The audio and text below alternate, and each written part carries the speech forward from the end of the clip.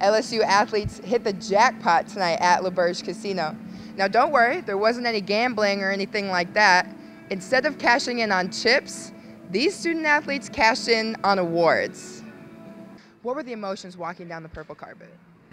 Could not be more excited to be here. It's so fun, you know, to get together and dress up, you know, um, and just have a great time. We just, we really felt like models, honestly. Like, I just, you know, I had this designer dress on and I just felt the runway.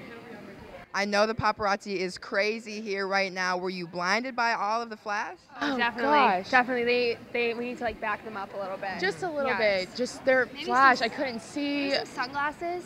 Yeah, next year. Next year, Mikey's sunglasses for all the paparazzi. Beach to the bayou. What's your favorite part about LSU? Uh, probably the seafood. Seafood. Definitely the seafood. It's a little different from the beach to here. The seafood and this has like a Cajun twist to it. You know what I mean? DD, SEC champs, how does it feel? It's amazing. You know, this is the best conference in the country, and when you when you work at the greatest university in the country, and then you win a conference championship in the greatest conference in the country, that's like a double special, awesome thing. That's a lot of great. Speaking of great, how did it feel to walk down the purple carpet? It, this purple carpet right Yes, here was amazing. LSU, I mean, the, the academic gala is it's such a it's become a tradition now, and traditions are such a rich part of everything we do at LSU. So I'm just excited to be a part of it. All right, lots of excitement here from DD Breaux on the purple carpet at the Mikeys. DD, thank you so much for stopping. Go Tigers! Go Tigers. I'm excited about our young men and women's accolades. I think one of the things that's great about it is an opportunity to celebrate, affirm, show their hard work so that they're beyond just being athletes, but scholar athletes.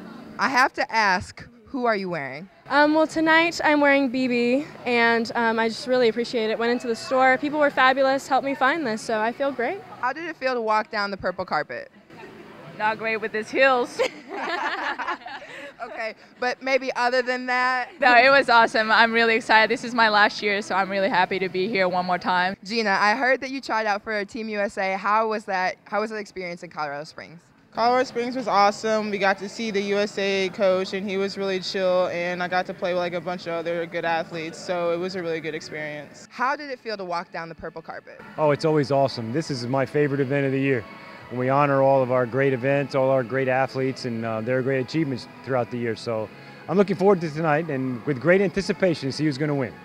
All right, we've had a few comments that there should be sunglasses given out next year because of all the paparazzi. Do you agree? I'll tell you, I was inundated walking in here with all the paparazzi. So I think we need to have some disguises for sure. Disguises. All right. So a lot of people are really looking forward to the, you know, Mikey's. It's a great event. Some people are really excited about the cheesecake that's supposed to be served. What are your thoughts on that? Dessert is key. And Without a good dessert, the meal just doesn't make it. So we're looking for a very good dessert here tonight. All right. Dessert is key. Joe Alleva, athletics director. Thank you very much for stopping by. My pleasure. Thank you. So here we are again, the last ones on the purple carpet.